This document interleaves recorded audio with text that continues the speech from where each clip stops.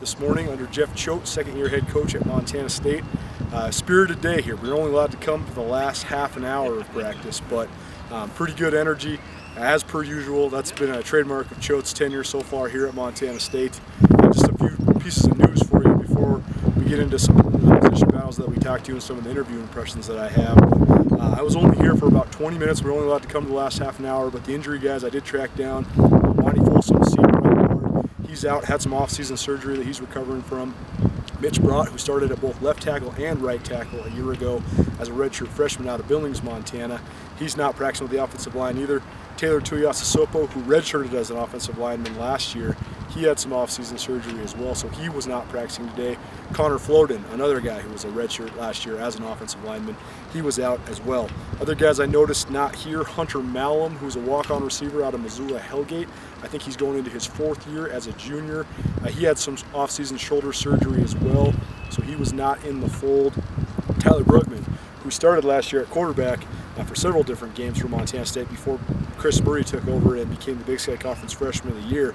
He's not in attendance until after the weekend. He is out of town for a family issue, according to Jeff Choate. Uh, so he'll be back in the mix, senior quarterback there. Um, other guys that I noticed, Chris Harris, who started a couple games at cornerback last year for Montana State.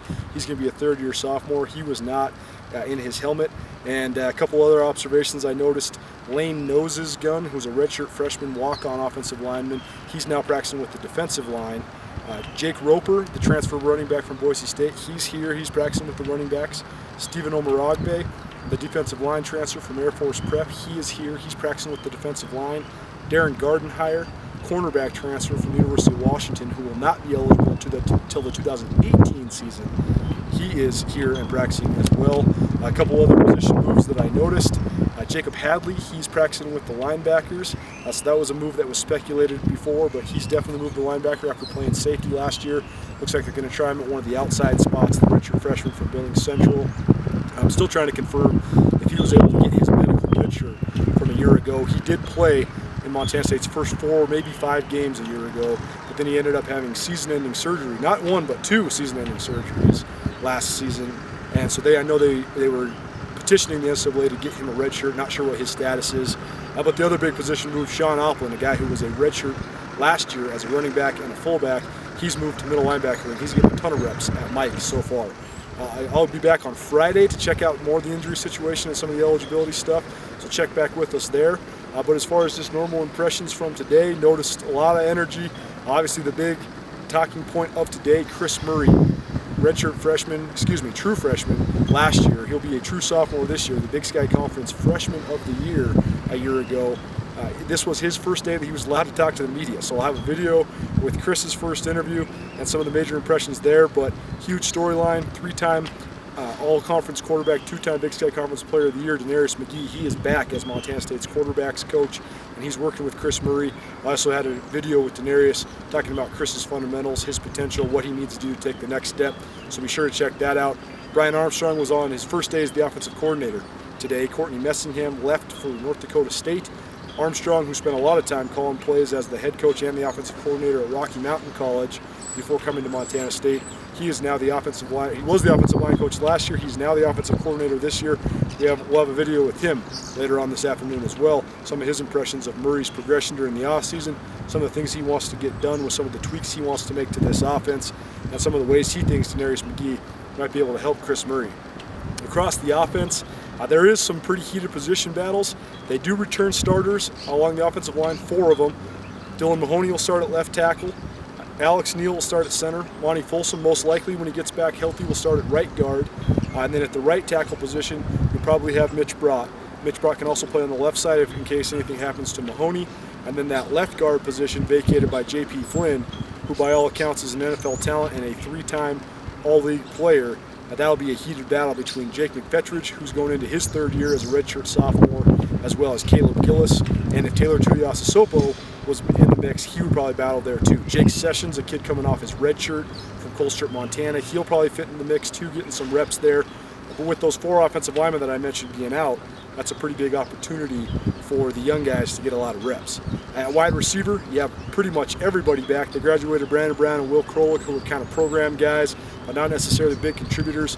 A lot of talk here about getting Mitch Herbert back to the all-conference form that he had as a sophomore. Last year he really had a down year, but a lot of that was just because of Montana State's lack of ability to throw the ball, and that's to be expected with a true freshman quarterback but a lot of talk about getting him back to the form he had his first two years, as well as getting Justin Page back to the form he had his first two years. Hello, Colter Nuanez from Skyline Sports here again. Apologies for getting cut off in that last video. A little bit of experimentation here going on at Skyline Sports. We're trying to add some more video content for you guys. Had a lot of good feedback about you guys liking that kind of stuff, so really wanted to do that. Problem was, I took so many videos. Interviewed Jeff Choate, took a video. Interviewed Chris Murray, took a video. Interviewed Brian Armstrong, took a video, and interviewed DeNarius McGhee and took a video following Montana State's first session of spring football practice on Wednesday morning. I ran out of memory on my memory card and didn't know it. I'm kind of new at this camera thing. Usually, my brother Brooks is the guy taking care of all the camera and video work, uh, but he's at his full time job on Wednesdays. So uh, I had had to kind of take over there, and I ran out of space there on the memory card, so I got cut off right in the middle of what I wanted to say. But I wanted to finish up that thought. As you heard, I was just getting cut off when we were talking about the wide receivers. Jay Gates, a productive player who caught eight touchdowns his first three years at Montana State, he is no longer with the program, left in the offseason. Uh, so that leaves a pretty good opportunity for a lot of young guys to kind of rise up. Jeff Choate has talked about that extensively. Uh, and there's been a lot of talk amongst the offensive guys. I know DeNarius McGhee, after watching the film of Montana State, has been very impressed with just the physical skills he saw out of Cam Sutton and Keon Steffens, two guys who were redshirt freshmen a year ago, who really pushed for playing time down the stretch. Uh, he was also really impressed with Kevin Kassis, a guy who had a really good year as a true freshman for the Montana State Bobcats. So that receiver group is going to be very interesting to watch. You have Mitch Herbert, who was a third team All Big Sky guy two years ago, but definitely saw a drop off without his buddy Dakota Prukop throwing him the ball. Uh, you saw Justin Page, a guy who has proven to be one of the fastest players in this league, but also one dimensional. He only really can catch the deep ball, hasn't really added much to his repertoire yet, but he is a senior now, and they're really looking to get him back to the form that made him one of the most explosive playmakers in the Big Sky Conference the last couple years. And then you have Steffens and Sutton and Kassis. Uh, so that there's going to be an interesting group at wide receiver, a whole bunch of guys who can play. It's just a matter of who rises to the top and does the best job there for the Bobcats. We mentioned the battle on the offensive line to replace J.P. Flynn. Uh, mentioned the wide receivers. I think tight ends is an interesting group. Woody Brandom, number 46, he's moved back to the offensive side of the ball. He played defensive end for the last six or seven games a year ago because of the decimation Montana State experienced along the defensive line. They lost Tyrone Fa'anono for the year to a season-ending injury. They lost Shiloh LeBoy to a season-ending injury. They lost Evan Jeffries to a season-ending injury. So they were stuck there basically with redshirt freshman Marcus Ferreter, true freshman Derek Marks, and Woody Brandom, who last year was a redshirt freshman himself. He's back on offense. He's playing tight end, and that should that's a really intriguing group because he's a big, strong kid. And I think the defensive line aspect of things definitely probably taught him a lot in terms of playing with his hands, having good punch at the point of attack. And he's always been a guy who can run and catch a ball. He showed that in Great Falls last year during the Triangle Classic, caught a couple touchdowns, really looked explosive uh, playing tight end a year ago. So he's a guy that's definitely going to be in a heavy competition, and I think his main competition will be Connor Sullivan. I know DeNarius McGhee talking to him was really impressed with Sullivan. I know Brian Armstrong, the new offensive coordinator, uh, is definitely impressed with the physical skills Sullivan brings to the table. So that'll be another fun spot to watch during spring drills. As far as the rest of the offense goes, Jake Roper, the Boise State transfer running back, he's in the mix. He was there, not very big. So I'd be interested to see what happens when they put the pads on. I want to see him in live action. A guy that has his stature, that must tell me that he must have really good vision and really good speed if he's a Division One caliber player, despite the fact that he's not big at all. I mean, he's not very much bigger than Logan Jones. Uh, maybe a Gunnar Brekke type guy, but not even as girthy as Gunnar Brekke is. I, I doubt he weighs 200 pounds like Brekke. He probably only weighs 180. So I was pretty struck by how small he was. Interesting to see if he's in the mix. Edward Vander, the transfer running back from Saddleback Community College, he's not on campus yet. I'm hearing that he's going to join the team in the summer, but he's not in the mix quite yet. Uh, he's a guy that'll definitely compete for reps there too. And then Noah James, Nick Lassane, Logan Jones, those guys are the primary returners. Like I said in the uh, intro part of this video that we filmed at Bobcat Stadium, Sean Oplin, the kid from Troy, Montana, he's been moved to middle linebacker. I think that's a great move there by Montana State. Oplin's a big kid, a hard hitter, And uh, he's a very versatile athlete, state champion in the high jump and the 400 meters, so he's definitely a guy that can make some noise defensively.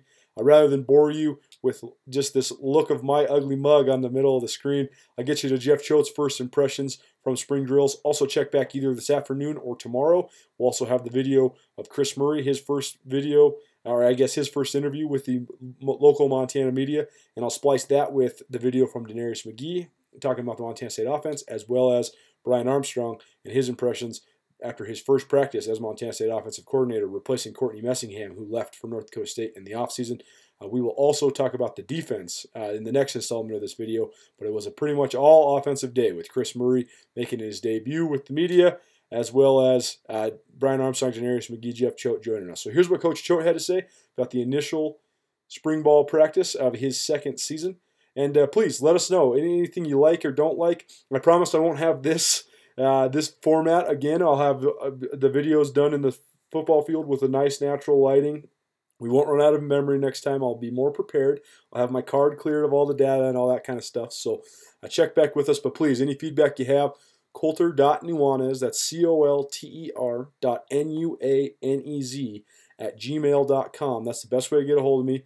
Uh, you can also find my contact information anywhere on the internet. You can message me on Twitter, on Facebook, uh, on Bobcat Nation, on eGriz, anywhere that you find my contact information. Please send us any feedback. If you like the videos, great. If you don't like looking at this ugly face, awesome too.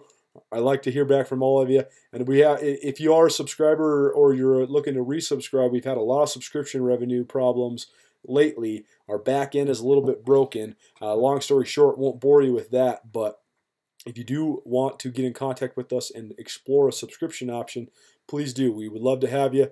Uh, we really want to make this thing work. We're really trying to ramp up our efforts both in Bozeman and Missoula to make this a viable option for Skyline Sports. But if you are watching this, I know you're already one of our good followers, and we really appreciate that. Not only today, but every single day throughout the entire season. We're trying to really change the game here in the media in Montana, and we definitely want to bring you guys along for the ride. I think we have a ton of potential. We just need people to buy in. We need people to know about it. We need people to support it. We need people to talk about it.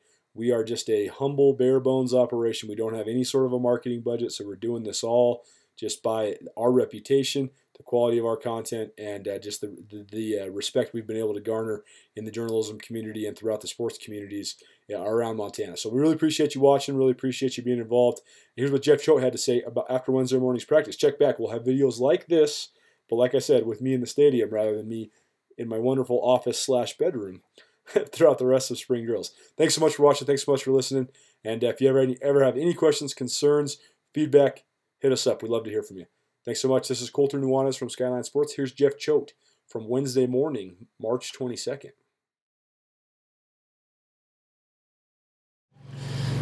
right, who's up?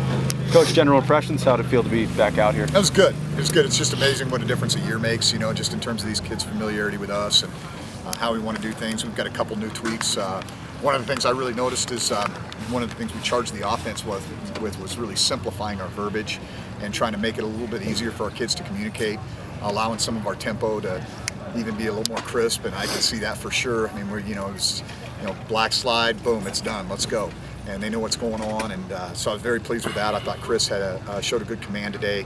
Uh, Tyler, unfortunately, is not here. He's had a family issue that he's dealing with in Arizona that took place uh, early in the week, and so hopefully he'll be back for Saturday's practice and uh, be able to push him a little bit more there. But I thought the energy was good. Um, again, change in practice a little bit. The, the morning, it's interesting because what one of the things we had to do is kind of you're still going to lose a couple guys to class, and so one of the things we had to do is kind of do our team periods earlier in practice and finish with more individual. And I thought that took a minute for those guys kind of to adjust. Just oh, this is the rhythm of how we do it. Um, so it, it's, it's it's fun to see them though. I, I can I can tell the growth in them, the maturity in them. Uh, their discipline seems to be better. They're playing with better body position. It's exciting to get out here, and we got a Bluebird day too, so that doesn't hurt. Chris look a little bit different today than maybe when he stepped on campus in August. How Absolutely. would you? Yeah, I think just confidence. Okay. You know, I think uh, I think also just having DeNarius there to just kind of be in his ear all the time. You know, when it's tough when you're a coordinator and you've got to worry about all the other ten guys and what they're doing, and then hopefully you get to work on that quarterback and, in, in, meetings, and here he's got somebody who's got eyes on him every single rep and correct correct his footwork and his read progression and all those things. And so I think he's a lot more comfortable with what we're trying to do, and uh, I think obviously having Darius here is a, is, a, is a benefit for him as well. Is it hard to step in as a freshman quarterback and be a leader? Do you feel like he has a better chance now that he has a little bit of time under his belt? Yeah, I think he's got some street cred. You know. I think that, and, and really, uh, Chris, even though he's kind of got a quiet demeanor, I, I really do think he's a pretty good leader between the white lines. Uh, I, and I think he'd be the first one to say, you know, I've got a, I've got some growing to do and, to, and some maturing to do before I can really be the face of the program. But when, it, when he gets out between the white lines, that's his uh, that's his comfort level, and I think that uh, he does a good job of taking charge. And even though he's not an overly vocal guy, and that's something he needs to work on, I think the players around him respect him and, and uh, look to him for those leadership qualities. Uh, Coach Armstrong, I know it's kind of early evaluations, but uh, anything that you're noticing that he's doing different uh, so far? I think just some of the things that we had already talked about even when Courtney was here, which is again simplifying the verbiage of our offense, trying to streamline some of the run schemes. So in that uh, case, should we just stay make it, just stay with it? Make everything more of a package, and uh, I think it allows us to practice more in, a, in more of an appropriate teaching sequence. And uh, Brian's a good football coach, and uh, I think uh, you can see it, it really, in my mind, things went very smoothly today and uh, I thought things were good, and uh, I like where we're at. We've got 14 more opportunities to improve. What did you notice about some of the other new, new coaches, how they're fitting? Yeah, you know, Mark is so much different in terms of his demeanor than Gerald, but he's a very intelligent, bright football coach, and um, I think he's. Uh, he, it's, it's funny because they're getting the same amount of work done. There might not be as much uh, screaming and hollering over there, but it's uh, it's just a different style. And I think the kids have responded really well to that. And then uh, Josh is a high energy, uh, high energy guy who's you know played at a high level and I think has a lot to offer. And uh, it's just I think we've just been really fortunate to be able to to bring some young coaches in here that uh, have the ability to be kind of stars in this profession down the road. And uh, I know felt the same way about Gerald and feel the same way about Darius and Josh. And, What's the plan in terms of install? How much new stuff are you guys going to put in, and what's the timeline? We're front loaded a little bit. I mean, there's some new things that went in today. Um, some of the past concepts that um, that, that, we're working on right now, really to simplify things, get the ball out of Chris's hands a little bit quicker, make the reads a little bit more streamlined. Um, and so it, it, it, may be new, but I think because it's going to be it's going to be easier and more simple. I think that's actually going to benefit us, and I think it'll help us go a little bit faster. the first three practices pretty heavy in terms of new install, and then kind of start to back off a little bit after that. How do you think he looked throwing the ball? We didn't get to see too much of it. Yeah, he looked uh, he looked better. I'll say that. And it starts with his feet. I think that's the thing he understands. Is, you know, everything goes from the ground up, and, and uh, his ability to just focus on that has helped him a lot some guys out here not in pads. Can you address any of the injury situations you guys got going um, on? You know, kind of just a lot of guys that are coming off off-season injuries. Most of the, you know, Tucker Yates had, a, had his, his, shoulder and his knee cleaned out at the end, and he'll be ready to go in the fall. And just uh, doesn't need to doesn't need to bang on the old dog, and he'll be he'll be good. Uh, uh, Kahari had a shoulder surgery in the off-season. He's doing well. Um, those are kind of the and the guys that you're seeing by and large. You know, uh, Nigel Hale uh, ended up having to have that knee operated on, and so that's what he's dealing with right now. And, going through that. I'm trying to think uh, other guys you probably noticed more than I do, but uh, basically it's nobody that's missing right now because anything that's happened in the off season. It's just things that uh, were coming out of out of uh, last fall, that uh, standard spring ball take care of your guys type stuff. Some veteran offensive linemen. So does that give some young guys a chance to get some more reps? I think so. You know, the one guy that I would like to really see, and I think I might have talked about this yesterday, was uh, was Taylor Tuiasosopo. Yeah. It was unfortunate he had a little shoulder deal that happened late in the season, and uh, ended up having to have that operated on. But uh, but there's there's plenty of opportunities for those guys to get a ton of reps. What about the energy level, and how, how important is that on day one? Well, I think you know there's a certain energy level that you want to have all the time. At the end of the day, this is a marathon, not a sprint. I don't want to come out here and you know act like we won the Super Bowl and practice one a spring ball, and then get to practice five and forget that you know that, that we like playing football. So I think we're building towards something here. What we're building towards is uh, September 2nd, and uh, this is just the first. Yeah, many opportunities to practice.